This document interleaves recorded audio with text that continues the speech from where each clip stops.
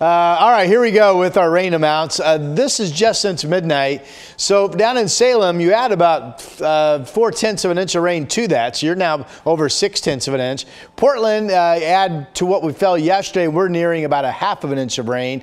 And already just since midnight, 99 one hundredths of an inch in North Bend. So again, this is I mean, it started over the weekend. This rain is still going to be with us all the way through Wednesday into Thursday. So the big headline was always a long stretch of rainy weather, not overly intense, not enough to produce any watchers or warnings or advisories. So that's good news. Out and about traveling today, you're simply going to find the wet weather. Winds were noticeably breezy yesterday from the southeast. We'll have that same uh, 15, 20, 25 mile per hour, uh, maybe south gust of 30 during the day at times today.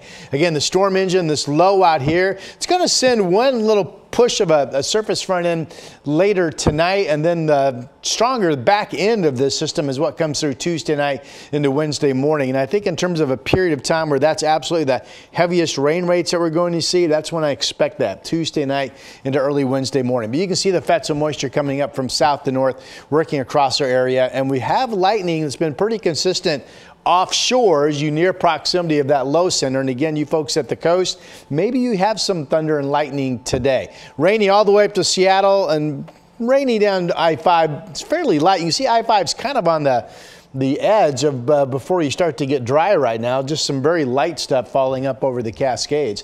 Futurecast does not show it's going to be raining every single second of the day, but I also believe that much of this dry time that Futurecast is showing, here's 3 o'clock in the afternoon, there could be still some light, misty, light rain falling that it's not picking up. Heavier rain band offshore at 3 o'clock, and then we get some heavier rain pockets eventually uh, coming in this evening. So we'll keep an eye on all of that. So how much rain are we talking about? Now keep in mind, Portland is already nearing a half of an inch going back to yesterday. This gives us an inch and a half yet to come through noon. So the rain totals we talked about last week in terms of the entire episode of four days days or so.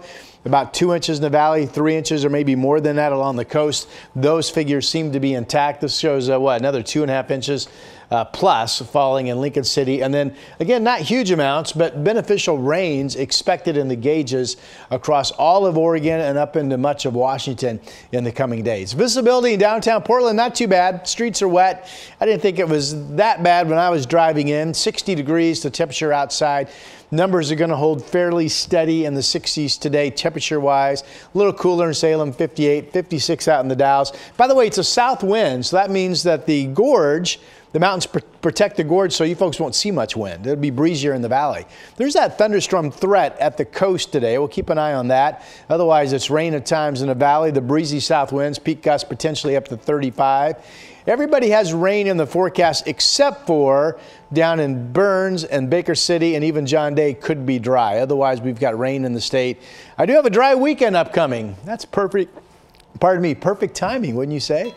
That's your forecast on a Monday. We'll be back. More sunrise coming up.